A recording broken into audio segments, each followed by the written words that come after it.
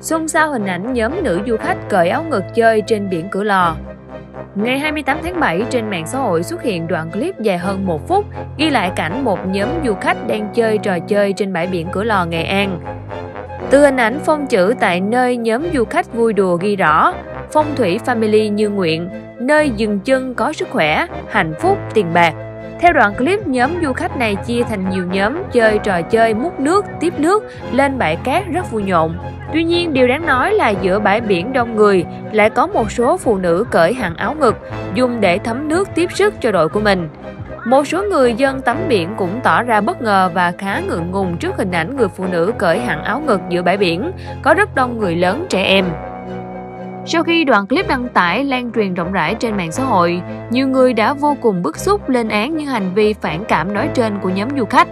Đồng thời mong muốn các cơ quan chức năng vào cuộc xác minh, xử lý những hành vi trò chơi phản cảm trong các hoạt động tại nơi công cộng. Qua xác minh của phóng viên, đoạn video được ghi lại vào chiều ngày 27 tháng 7 năm 2022 tại bãi biển Cửa Lò, tỉnh Nghệ An.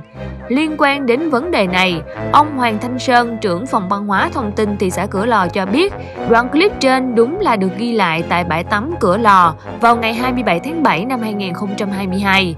Đây là đoàn khách từ tỉnh Phú Thọ vào Cửa Lò để du lịch, còn đơn vị tổ chức sự kiện ở huyện Diễn Châu. Chúng tôi đã liên hệ với nhóm du khách nói trên. Theo lịch thì sáng ngày 29 tháng 7 thì chúng tôi mới làm việc được, ông Sơn nói.